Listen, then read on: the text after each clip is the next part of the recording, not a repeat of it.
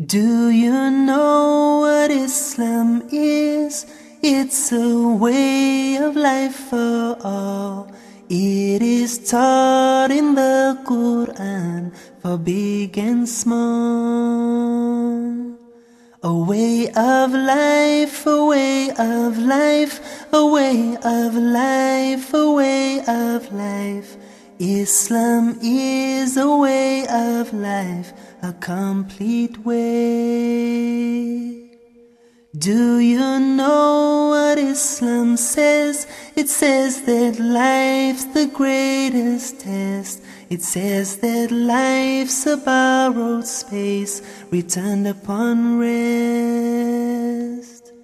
A way of life, a way of life, a way of life, a way of life.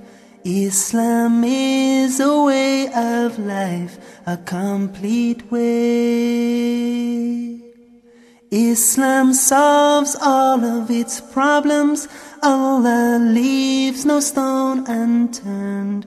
Perfect with no flaws at all are the laws of Allah. A way of life, a way of life, a way of life, a way of life.